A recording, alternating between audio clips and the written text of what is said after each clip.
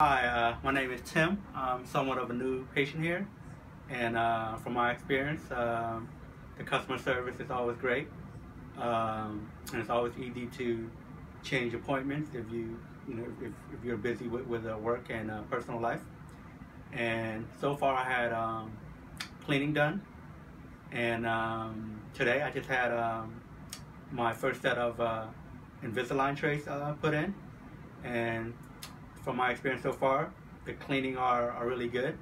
Um, it's, all, it's almost pain-free, uh, and they use pretty um, advanced techniques to make sure um, you feel as little pain as possible.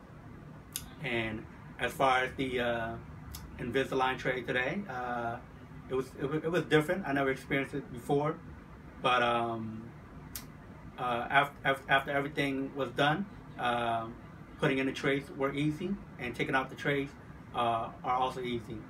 So basically, if you just follow the dentist instructions, uh, everything should go smoothly.